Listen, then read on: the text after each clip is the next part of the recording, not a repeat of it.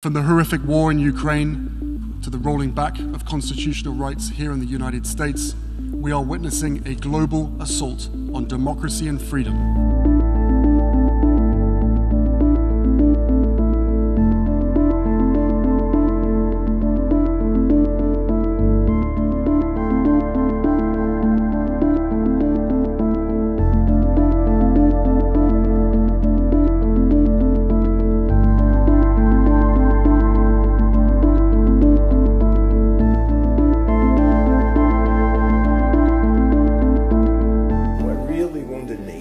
Was when the Duke of Sussex addressed the United Nations and seemed to compare the decision whose name may not be spoken with the Russian attack on Ukraine.